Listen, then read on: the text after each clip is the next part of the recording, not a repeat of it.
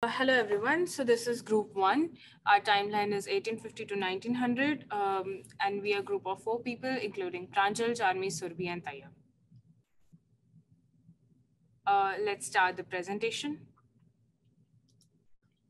Here we'll be talking about art, architecture, industrial design, and graphics, uh, starting from 1850 to 1900s. Uh, I'll, uh, I'm Pranjal. I'll mostly talk about uh, the art and architecture starting from 1850 to 1875. Uh, I'll start uh, with real, uh, realism. Realism uh, was uh, began earlier in 1830s, but reached prominence at, uh, and held sway from the end of Civil War to around the 19th century. The main character, the ma main artists were Millet and Courbet. Um, so now, as you can see, this is the Crystal Palace, Hyde Park from London. Uh, it served uh, as the venue for 1851 Great Exhibition, which drew more than 14,000 visitors from around the globe. The next is uh, this photograph uh, called Dead Confederate, Confederate Soldier with Gun. Uh, one of the most well-known American photographers of the 19th century, Matthew Brady is regarded as the father of photojournalism. For photography took a peak uh, during this duration. Uh, photography developed in 19, uh, in middle of 19th century. Uh, changes in painting took place because of that. Photojournalism started to take highlights in social problems. Uh, next here we see La Lady Lilith, a painting. English poet, uh, painter, and illustrator Dante Gabriel Rossetti created this work the pre-Raphaelite Brotherhood was founded by him. Um, next, we'll talk about Impressionism. Uh, this is one of the painting called Sunrise. The masterpiece by Claude Monet uh, gave rise to the artistic Monet of Impressionism. Monet was the most consistent and prolific uh, practitioner. Uh, so now coming next uh, to 1874, um, we'll talk about Impressionists. Uh, main artists were Monet, Claude, Degas, and more. Characteristics of this mo movement embrace modern life, incorporate new technology and ideas of the time, rejected the established uh, style of the academy. Uh, the art emphasizes the light effect uh, of modern subject matter. Uh, now I pass on to Surabhi. Um, hello, I'll be talking about art and architecture from 1875. So we're starting with Le Moulins de la Galette.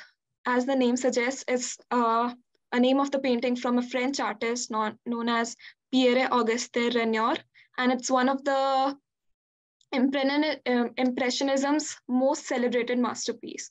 So in the late 19th century, it was customary for working class Parisians to dress up and spend Sunday afternoons eating galettes, cakes, drinking, and dancing. Renoir paintings is realistic depiction of the typical French lifestyle in late 18, 18th century. So this is oil on medium. Let's move on the next slide. Um, let's talk about post-impressionism. The main artists of this style were Paul Gauguin, George Seurat, Vincent van Gogh, and Paul Cézanne. Characteristics of this movement were breaking up free forms into naturalism, expressing emotions and symbolism. Tragic Overture. Johannes Brahms composed the concert overture Tragic Overture for orchestra in 1880. In order to emphasize the suffering for the characteristics in the work, Brahms designated it as tragic. Brahms, however, was more concerned with evoking an emotional response from the listener rather than the musical storytelling. Let's move on to the next slide. Statue of Liberty. So the French sculptor Frederick Auguste Bartholdi created the Statue of Liberty in 1881. It was a gift from the French people towards the United States. It is a symbol of freedom and America and sends out a warm welcome to the newcomers from other countries. La Sagrada Familia. Large Roman Catholic church called La Sagrada Familia was built by architect Antoni Gaudi in Barcelona, Spain.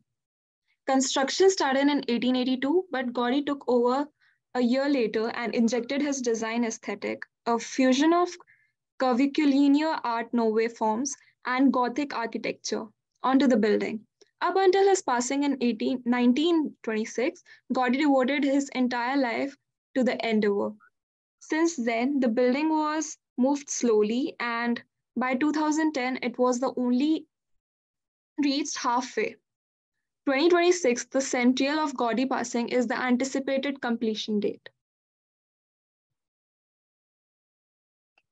A Sunday afternoon on island of La Gardeja. One of the George Seurat's most recognizable and well-known works is A Sunday Afternoon on the island of La Grande Jatte. It is an prime example of pointillism and a style that depends Okay, let's move on to New Impressionism. Main artists Paul Signac, George Seurat, and Maximilien Luce, Henry and Edward Cross. It was renowned for its random spontaneity of Impressionism, favored more measured techniques. The famous painting Starry Night, one of the most well works of the art in the entire world, Vincent van Gogh, The Starry Night. Eiffel Tower for the Paris World Exhibition in 1889. French organizer and engineer Gustave Eiffel built the first, not the first, the only Eiffel Tower. The Scream, it's a well-known painting. The Scream is a composition by expressionist artist Edward Munch that has four iterations let's talk about industrial design. Uh, we are back to the great exhibition, uh, which uh, hosted a large industrial works fair where different countries were invited to bring the best of their industries and crafts. During this time period, uh, there was no term as industrial design. And uh, in this great exhibition, there were many products like the machine and um, which were made uh, with machine, um, but they mimicked the hand made uh, clock like this handmade uh, this is machine made clock but it mimicked uh, the handmade clock. And then this uh, sewing machine which had so many uh, features which uh, were not related to the function of the sewing machine.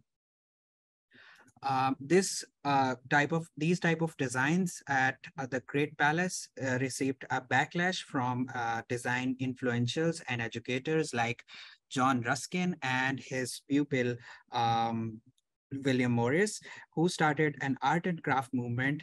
And the art and craft movement um, um, he they stated the contents of the palace as wonderfully ugly, and um, they thought that uh, the objects that were presented were unworthy of consideration as an aesthetic object, not because of its design, but because of its deceit. It pretended to be handmade, and the entire object was a lie.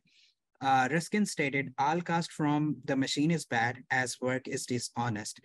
And Moving on to the 1886, this is the writing desk, which is considered as the first fully realized piece of arts and craft furniture. It exhibits an honest use of materials, worked simply, minimal decoration, and a transparent finish that does not hide the oak from which it was made.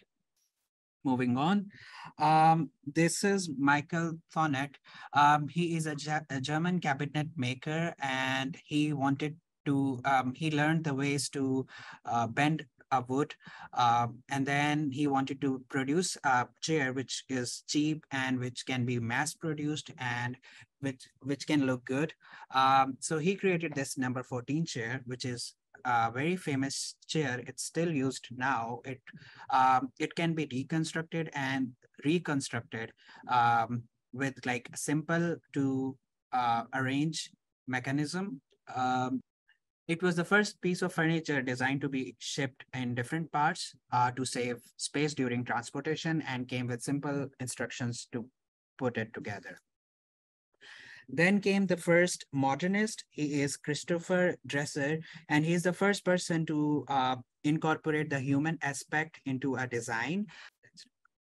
He made quick sketches of the boat, and um, this is an, a very early consideration of human factors in the design of the product's form in an era not known for such design. For better comfort and safety, his new designs located um, teapots handle directly above the center of gravity during the act of pouring and put less emphasis on how the teapot looked.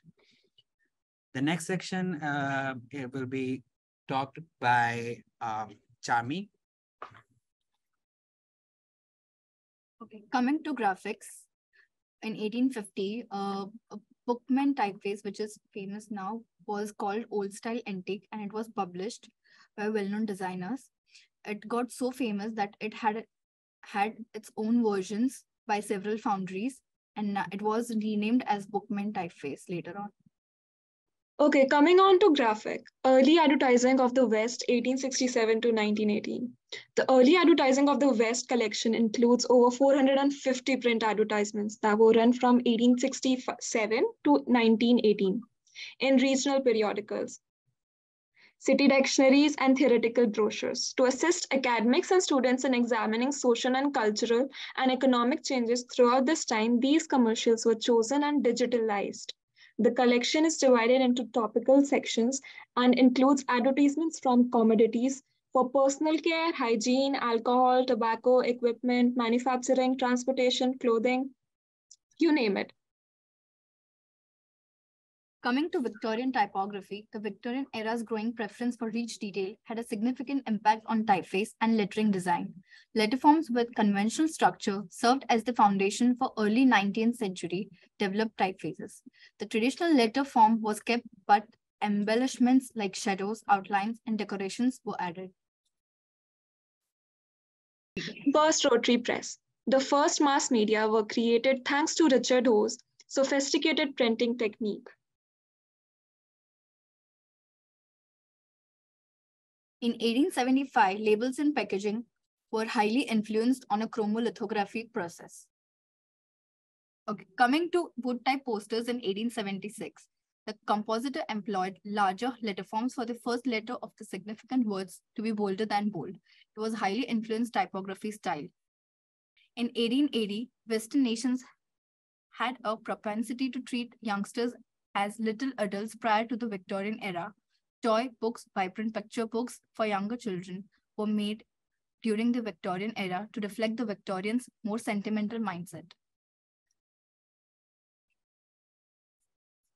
Coming on to a brief history of American advertising. This is from the end of Civil War to the beginning of World War I.